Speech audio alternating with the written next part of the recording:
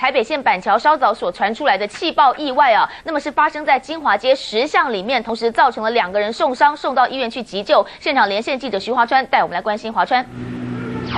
好，这起意外发生在中午十二点钟左右，当时两名工人正在防火巷装设天然瓦斯的管线，没有想到突然一一句一声这个轰然巨响，导致两名工人当场是受伤倒地。当时呢，这目击者也看到整个过程是非常的惊恐。现在知道之前目击者是怎么说的？足大港诶，迄已经足红足大港诶！你什么时候有发觉到？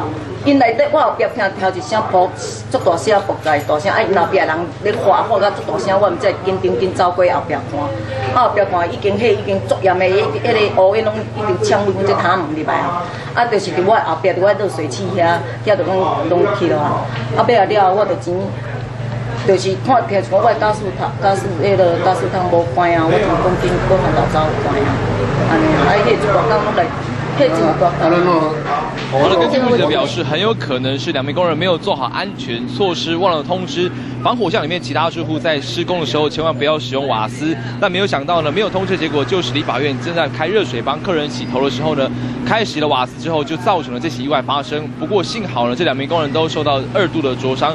分别只有百分之九和百分之四的小面积灼伤，目前都送往医院急救，没有生命危险。以上是来自向最奇奇的把时间交还棚内。